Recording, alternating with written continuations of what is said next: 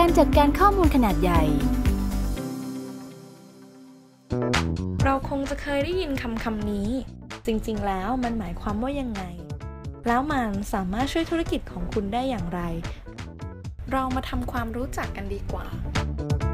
Big Data คือเทคโนโลยีการเก็บข้อมูลจำนวนมหาศาล ข้อมูลที่นำมาวิเคราะห์ มาจากข้อมูลภายในและภายนอกบริษัทของคุณ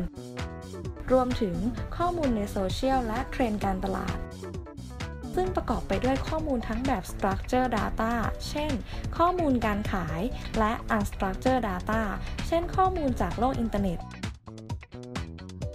ดังนั้นข้อมูลทั้งหมดจำเป็นต้องถูกจัดเก็บเพื่อนำไปวิเคราะห์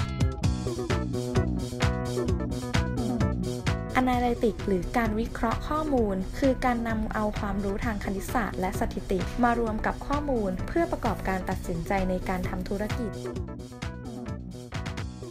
ประเภทของการวิเคราะห์ข้อมูลมี 3 แบบด้วยกัน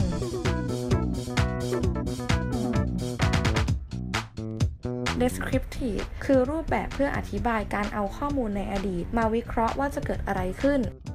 เช่น การอธิบายการวิเคราะห์ด้วยแดชบอร์ดหรือสกอร์บอร์ด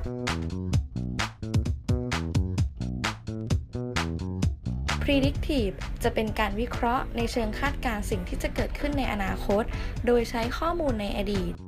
เช่น จะทำอย่างไรให้ลูกค้าตอบสนองหรือเดาใจลูกค้าเพื่อช่วยเพิ่มยอดขาย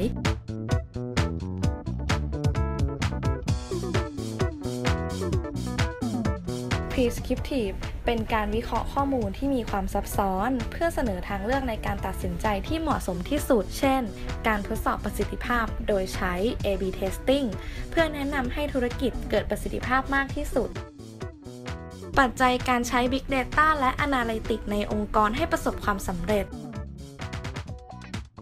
การผลักดันจากระดับผู้บริหาร ซึ่งถือเป็นปัจจัยที่สำคัญมาก เพื่อให้เกิดผลลัพธ์ที่เป็นประโยชน์ต่อองค์กร และสามารถได้เปรียบการแข่งขันต่อไปในระยะยาว พัฒนาทีมให้สามารถจัดการการวิเคราะห์ข้อมูลอย่างมีขั้นตอน อันได้แก่ การสร้างข้อมูล การรวบรวมข้อมูล การทำความสะอาดข้อมูล การจัดเก็บข้อมูลจนถึงการนำข้อมูลไปใช้ การสร้าง Data Driven Culture ให้เกิดขึ้นภายในองค์กร โดยการทำ Big Data ต้องได้รับความร่วมมือจากพนักงานทุกภาคส่วน การทำ Data Governance หรือการกำหนดสิทธิการเข้าถึงข้อมูลแต่ละคน ซึ่งต้องคำนึงถึงความเป็นส่วนตัว และทำให้มั่นใจว่า ผู้ดูแลระบบ IT จะไม่มีสิทธิ์เข้าถึงข้อมูลต่างๆ มากเกินไป สิ่งเหล่านี้เป็นสิ่งสำคัญที่จะช่วยปรับปรุงและพัฒนาบริษัทของคุณให้ชนะคู่แข่งได้